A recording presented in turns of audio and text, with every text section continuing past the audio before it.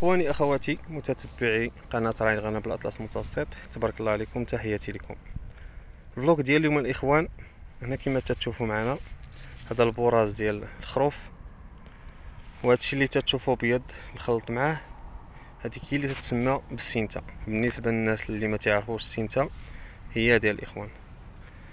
كاين العديد من الكسابة وهذه اللي تيسمعوا غير بالسينتا ولكن باش يشوفها ولا يعرفها ما المهم هي ديال الإخوان السينتا يعني من بعد فاش الإنسان تيداوي الفلاح فاش تيداوي الغنم ديالو تتلوح هاد السينتا تتموت وتتخرج مع الخروج.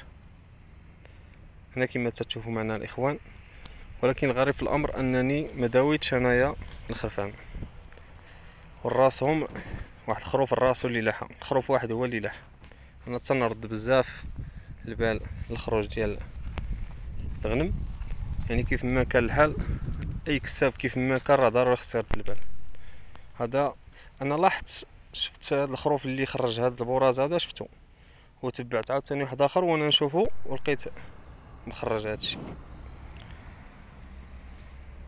والله ما يسر الإخوان.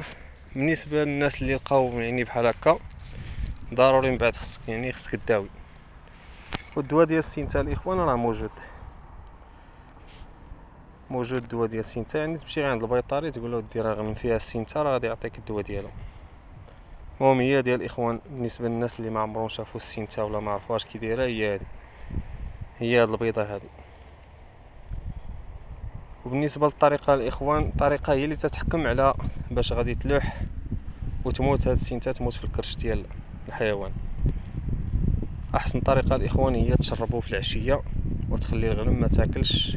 من العشية تقريبا مع ديك الجوج ما تاكلش تخلي حتى الخمسة ديال العشية وتشرب هاد الدواء وما تخليهاش ما تعطيها لا ماء لا حتى حاجة حتى الصباح هذه هي أحسن طريقة الإخوان والصباح ما تعطيهاش الماء.